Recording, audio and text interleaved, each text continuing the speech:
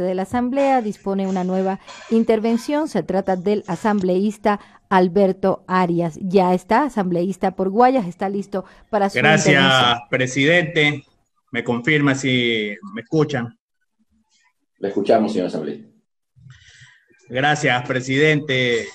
Quisiera en, este, en esta tarde saludar primeramente al pueblo ecuatoriano que el día de hoy nos están escuchando en este debate que ya lleva varios días, que es muy necesario para poder eh, debatir propuestas y buscar la mejor alternativa para el pueblo ecuatoriano. Yo quisiera primero hacer un llamado a todos los compañeros legisladores que no nos olvidemos de lo que está pasando. No es hora de hacer política, es hora de buscar lo mejor para el pueblo ecuatoriano. Cuando hablamos de un proyecto de ley humanitaria, estamos pensando únicamente en el pueblo ecuatoriano. Por eso quisiera al pueblo ecuatoriano pedirle las disculpas necesarias, porque se las debe. Tenemos que pensar en ello. Cuando hablamos de un proyecto de ley humanitaria, estamos hablando de sensibilidad. Y cuando hablamos de sensibilidad, tenemos que pensar primero en los que menos tienen. ¿Cómo podemos pensar en los que menos tienen si hoy en la actualidad se está dejando en desempleo a miles de personas? ¿Cómo podemos hablar de humanidad, de un proyecto humanitario, si hoy el Ministerio de Educación dice que ya casi está listo para empezar el proceso de clases virtuales y hay alrededor de un millón de ciudadanos que no tienen conectividad para poder recibir la señal y mediante eso los niños puedan recibir educación. Si no me equivoco, si no me equivoco, son como 186 parroquias que no llegan la conectividad. ¿Cómo podemos hablar de una ley humanitaria si tenemos esos problemas en educación? ¿Cómo podemos hablar de humanitario si aquellos que menos tienen, aquellos que tienen sueldos de 500, 600, 700, 1000, 1200, y se podemos seguir, se les piensa rebajar el sueldo? Es bien preocupante. Por eso empecé diciendo que hay que hablar del proyecto de ley humanitario, pero hay que ponerse en ese rol. Política, ya habrá tiempo para hacer política y poder cuestionar lo que se quiera cuestionar, pero hoy tenemos que hablar a favor del pueblo ecuatoriano en la necesidad que está ahorita, que es la emergencia sanitaria. ¿Cómo podemos hablar de la ley humanitaria, si ayer, antes de ayer, notificaron a un poco de trabajadores del sector de educación. Al desempleo, ya están. Sí, que estamos pasando una crisis. Sí, es verdad. Que tenemos que buscar los mecanismos para buscar la solución al problema. Es verdad pero no tenemos que golpear a los que menos tienen. ¿Cómo podemos hablar de un proyecto humanitario donde en salud no se pretende hablar de estabilidad laboral? ¿Cómo pretendemos hablar de un proyecto de ley humanitaria si no hay medicamentos? Enfoquemos todos los temas ahí, educación, salud. Pero todo eso se tiene que tener una base para poder buscar los recursos. Pero ya dejémonos de estar haciendo política, que tú tienes la culpa, que el otro tiene la culpa, que... No, no, no, no. Busquemos soluciones al pueblo ecuatoriano, que eso es lo que está buscando. Yo pregunto, yo pregunto, un promedio de 500 empresas tenían una mora patronal de más de un millón, más de 1.196 millones. ¿Se las cobró?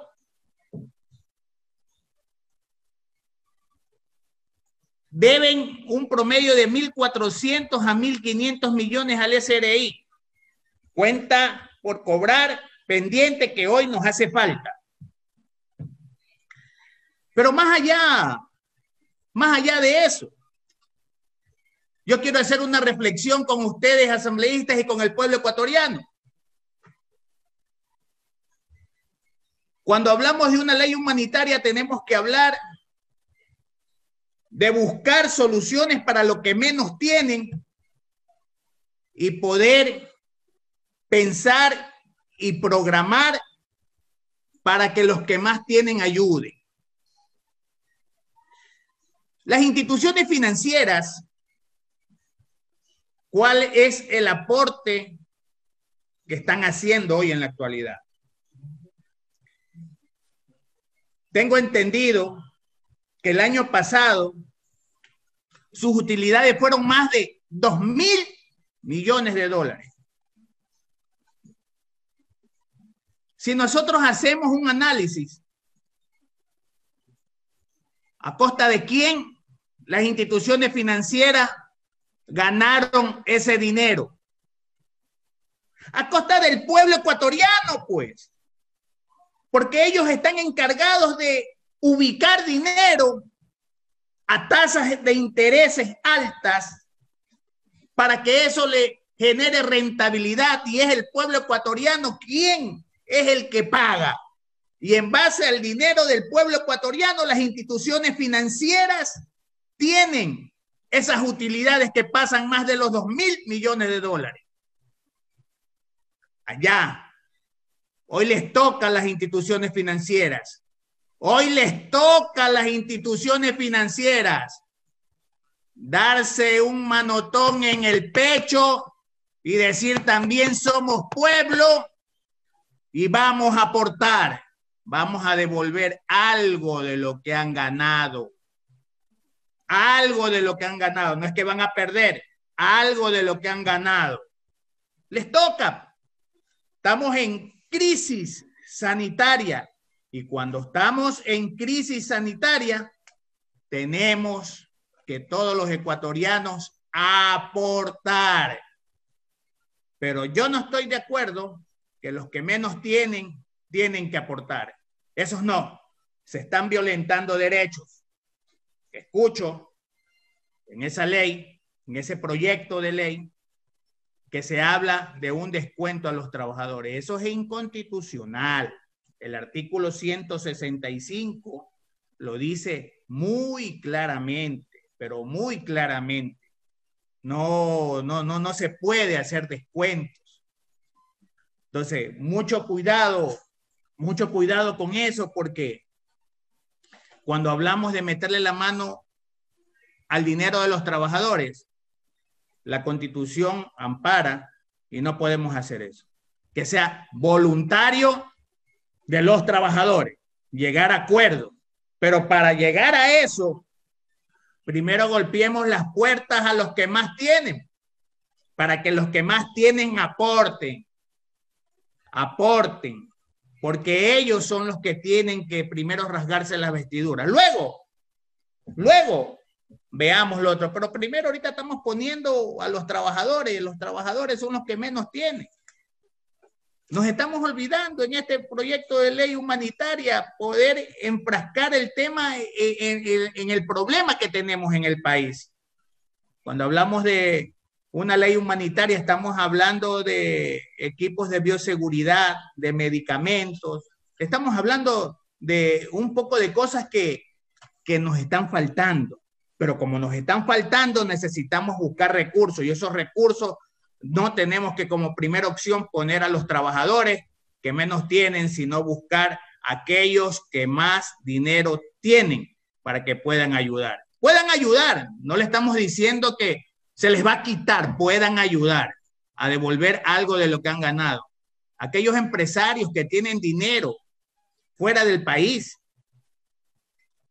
a ellos necesitamos que en esta ley podamos buscar un articulado, que ya lo han presentado, ser repetitivo, algunos asambleístas ya lo, ya, lo, ya lo han dicho, sino que yo estoy haciendo un análisis del tema, porque el pueblo ecuatoriano necesita estos tipos de análisis porque la realidad es otra.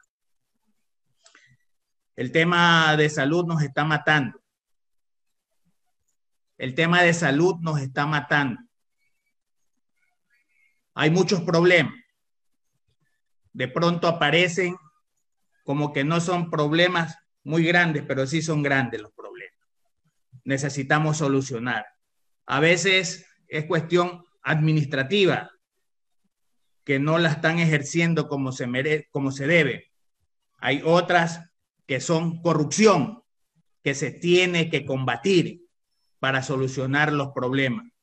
Yo creo, compañero presidente, que es hora de ponernos la camisa del pueblo ecuatoriano para nosotros garantizar a los trabajadores de la patria que sean los menos afectados. ¿Cómo se puede hablar de reducción del presupuesto en las universidades? Es terrible, es terrible.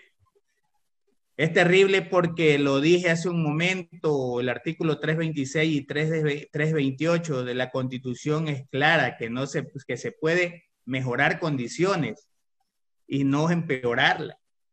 Se tiene que llegar a acuerdos. Por eso he sido repetitivo dos veces. Pueblo ecuatoriano, creo que ahora más que nunca, aquellos legisladores que quieren o piensan hacer política en este proyecto y en el otro proyecto, es hora de desechar y conozcan las personas que en verdad están legislando para el pueblo ecuatoriano. Va a ser política, aquellos que están haciendo cálculos políticos no tienen espacio aquí en este debate. En este debate se necesita pensar en el pueblo ecuatoriano y buscar las fuentes de ingreso para poder paliar en algo la crisis que tenemos, porque no se la va a solucionar. Pero no pensemos primero en los trabajadores de la patria, porque ellos sí pueden aportar con un acuerdo, pero primero planteemos, vengamos de arriba hacia abajo y pensemos en aquellos que más tienen, que ellos están en la obligación y en el deber moral, cívico y patriota de poder aportar en esta emergencia sanitaria. Yo quiero agradecer al presidente por haberme dado el uso de la palabra y al pueblo ecuatoriano decirle mil disculpas y gracias por su atención. Gracias, presidente. Teníamos allí la intervención del asambleísta por Guayas, Alberto Arias. Tiene la palabra el asambleísta José Serrano. Y se ha dado el uso de la palabra a un nuevo legislador. Se trata del asambleísta nacional José Serrano. Sesión del Pleno número 666, continuación de la misma y primer debate del proyecto de ley de apoyo humanitario. El asambleísta nacional José Serrano. Gracias, presidente.